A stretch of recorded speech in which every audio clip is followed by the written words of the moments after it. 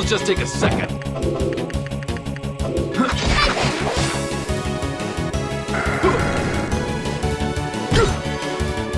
Move! Out of my face! Dragon Swarm!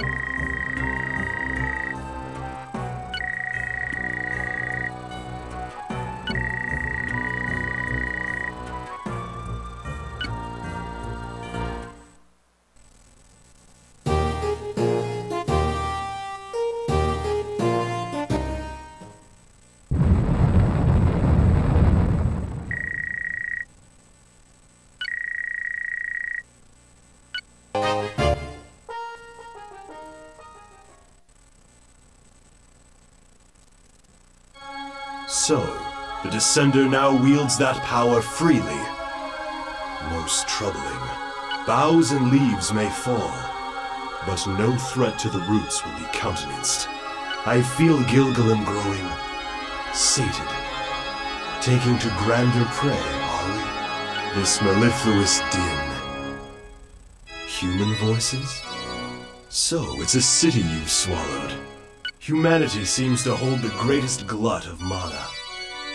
You're quite the gourmand. Were our Ganser an abler tool, you might have lived to procure more. How does the taste of this world suit you, Gilgalin? Feast. These lands will be the nourishment of our future glory.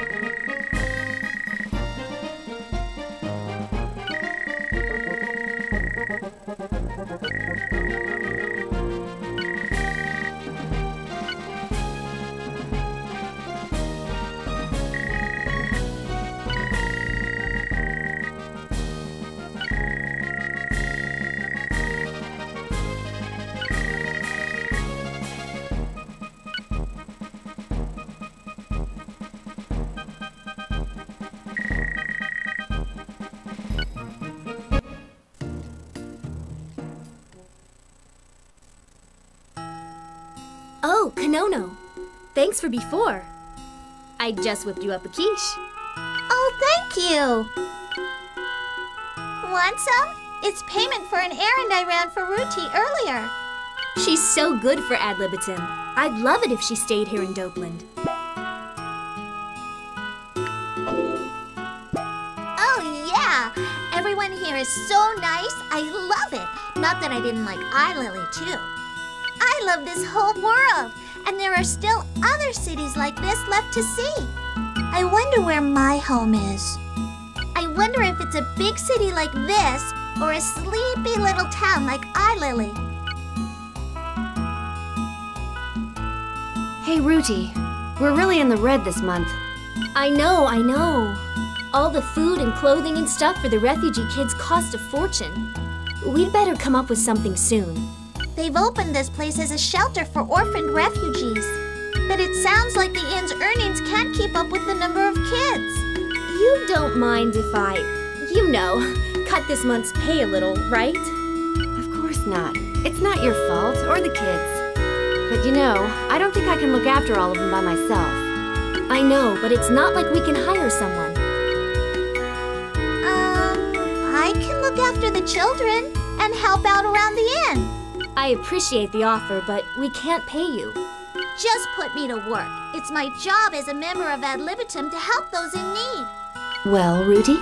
Think you can handle our little munchkin horde? Just let me at 'em. All right, they're all yours. Okay. Come on, we have a job to do. You too.